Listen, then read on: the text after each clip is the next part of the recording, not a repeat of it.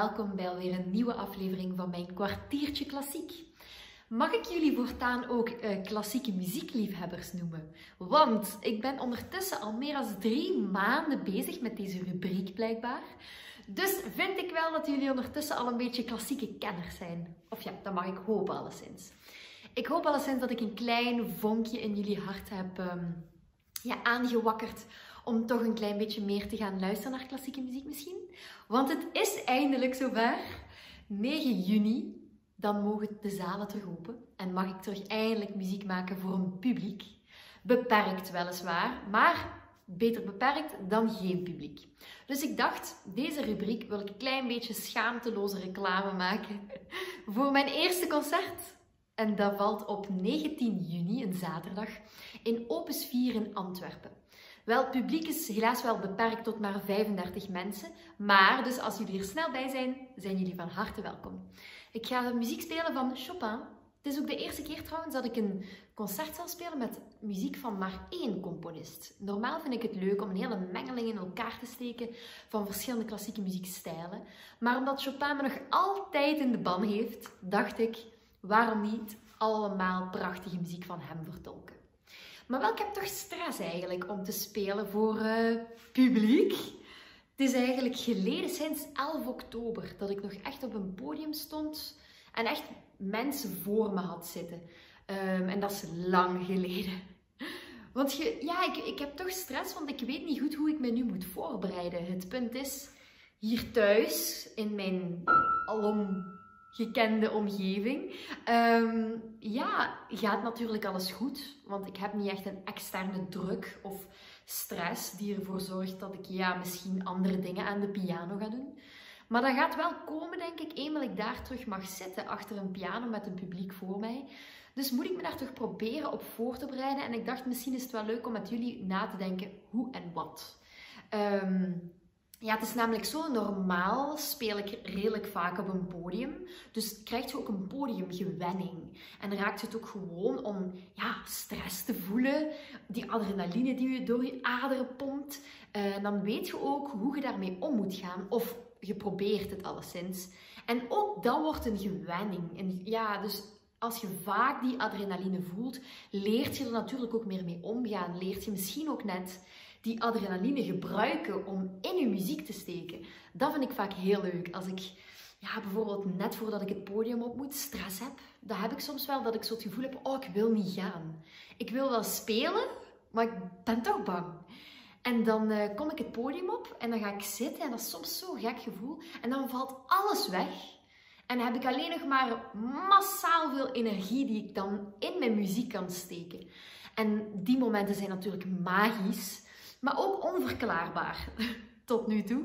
Ik kan nog steeds niet uitleggen hoe het komt dat het soms goed gaat en dat die stress wegvalt. En dat ik de stress eigenlijk of ja, kan omzetten in een positieve adrenaline en zo mijn muziek nog een extra boost kan geven. Maar soms kan de stress ook echt blijven hangen. En dat die echt blijft hangen een heel uur aan een stuk. En dat is niet bepaald ja, fijn, maar het, zorgt ook niet dat het me dwars zit. Of het is niet dat het me stoort als ik speel, maar ik ben er me gewoon heel bewust van dat het daar nog is. Dus um, ja, natuurlijk, ik denk dat het echt een levensles zal zijn. Dat ik heel mijn leven ga moeten nadenken over hoe ik daarmee om moet gaan. Want ik heb er al vaak over nagedacht over wat kan ik nu doen om ervoor te zorgen dat ik me niet zo gestrest voel. Ik probeer verschillende dingen, maar ik heb er nog geen antwoord op. Dus natuurlijk maakt het me nu dit heel, deze hele situatie nog een beetje meer gecompliceerd. Want ja, ik heb al lang zo'n stress niet meer gevoeld. Die, die, dat podiumangst een beetje toch als het ware. Um, ik heb natuurlijk enorm veel zin om te spelen. Dus misschien gaat die zin overmeesteren. En uh, ja, ga ik helemaal geen stress voelen. Maar ik denk het wel. En ik denk ook dat het beter is dat ik me daar toch ook op voorbereid. Um, dus ik ga proberen toch een kleine oefenconcert bij mij thuis te organiseren. Voor dan de mensen die ik altijd al zie. Een beetje mijn, mijn veilige bubbel. Dat is natuurlijk niet hetzelfde, hè, want die mensen ken ik. Dus daar voelt je misschien al toch net iets comfortabeler bij dan een anoniem publiek. Dus ehm, ga ik proberen, ja, misschien toch eens een keertje bijvoorbeeld twee mensen of zo uit te nodigen. Die iets verder van mij wegstaan, waar ik iets meer stress voor heb. Misschien ook een oud pianoleerkracht. Iemand waarvan ik weet, oeh, die kent die stukken door en door. Dat gaat me dan misschien toch al wel meer stress geven. Ik wil eigenlijk zoveel mogelijk stress voelen. Zodat ik ehm, ja, ook het gevoel heb dat mijn stukken stressbestendig zijn. Dat is grappig, want je kunt soms bij je thuis alles doen, perfect gelijk je het wilt. Ik kan bijvoorbeeld drie uur slapen, maar... En dan s ochtends opstaan, piano spelen, het gaat perfect. Of uh, thuiskomen van een grote wandeling met mijn honden. En uh, piano spelen met koude handen en alles gaat perfect. Maar als je dan in een podium, in een concertsetting komt en op dat podium springt, staat, loopt, wandelt, speelt, dan, uh, ja, dan is, zet je je plots veel meer bewust van die koude handen of de vermoeidheid.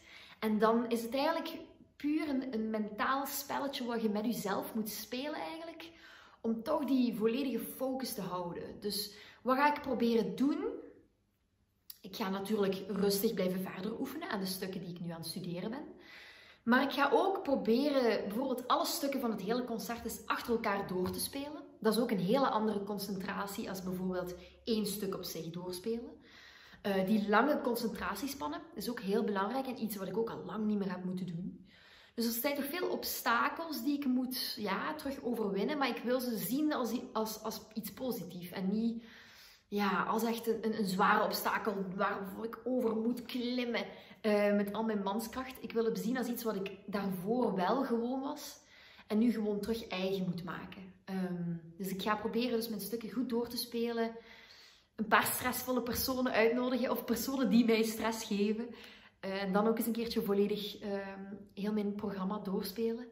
En ja, eigenlijk vooral als ik eenmaal op dat podium zit, genieten van muziek maken voor mensen. En ja, een klein beetje toch mijn, mijn, mijn, mijn corona-verhaal vertellen. Wat ik allemaal gevoeld heb. Waarom ik mij nu zo dichtbij de muziek van Chopin voel. En ik denk dat we dan toch een soort van op een metaniveau verbonden kunnen worden met elkaar. Het publiek en ik, de muzikant achter de piano.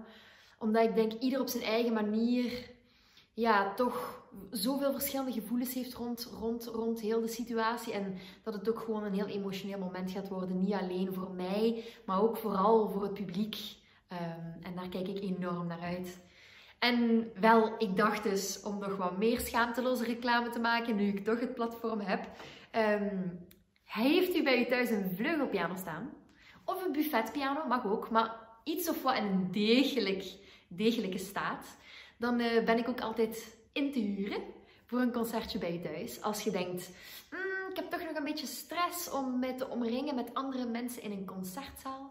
Niet gevreesd, dan kom ik tot bij jou. Dat kan zeker ook. Um, ik heb gewoon zoveel goesting om muziek te maken, dus uh, ik wil alle soorten manieren gebruiken om muziek tot de mens te brengen. En mijn vingertjes nog eens hun favoriete werk te laten doen, als ook mijn muzikaal hart. Um, ik hoop jullie misschien te zien 19 juni en anders misschien op een ander concert. Jullie kunnen me altijd volgen via mijn website. Dat is www.françoismarie.be. Heel makkelijk. Uh, daar staat alle informatie op. Daar kunt u mij ook altijd op contacteren. Of als je zin hebt om me een klein complimentje te geven of kritiek, dat kan ook, over deze rubriek. Dat mag altijd. Uh, vragen over muziek of aanbevelingen van muziek die jullie graag eens willen horen. Dan mogen jullie mij zeker altijd vragen. Dat vind ik leuk. Um, alle, alles omarmen om klassieke muziek tot jullie te brengen, is mijn doel in het leven, heb ik zo'n beetje de indruk. Um, ja, ik kijk ook trouwens enorm uit om nog eens zelf naar een concert te gaan. Ik weet niet of jullie kijkers al een, uh, een concertje geboekt hebben, tickets gekocht hebben. Ik al sinds wel, 10 juni, één dag nadat het mag, ruimt ga ik uh, in de Elisabethzaal luisteren naar een, het tweede pianoconcerto van Rachmaninoff in Antwerpen. En daar kijk ik ontzettend naar uit om nog eens overmeesterd te worden door prachtige klanken van piano en orkest. En uh, ja, dan ga ik zeker veel inspiratie opdoen om de 19e zelf prachtige muziek over te brengen naar jullie. Fijne week en tot volgende week alweer. Dag!